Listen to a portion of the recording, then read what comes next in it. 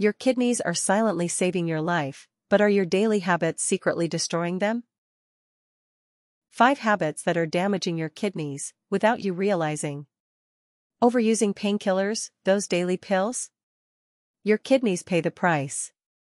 Too much salt, excess salt intake can raise blood pressure, which in turn may lead to kidney damage. Not drinking enough water, dehydration can silently wreck your kidneys. Excessive alcohol and smoking, toxins and poor blood flow together cause double the damage. Ignoring sleep and blood sugar, both can silently lead to kidney failure.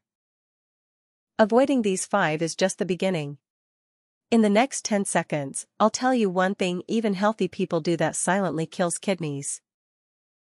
And here's the bonus, high-protein diets and shakes may look healthy, but they secretly overwork your kidneys. Especially if you're not drinking enough water. Surprised? Most people have no idea.